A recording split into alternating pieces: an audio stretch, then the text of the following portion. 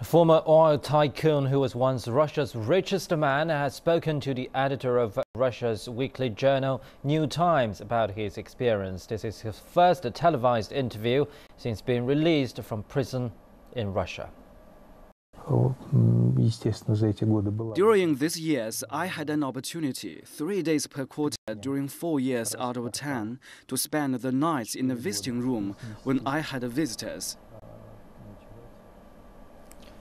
Mikhail Khodorkovsky was reunited with family members in Berlin on Saturday. It came a day after his early release from prison.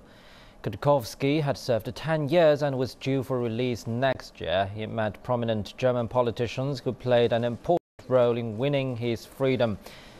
German MP uh, Marlene uh, Beck had been campaigning for years for his release. She said she was overwhelmed to meet Khodorkovsky in person.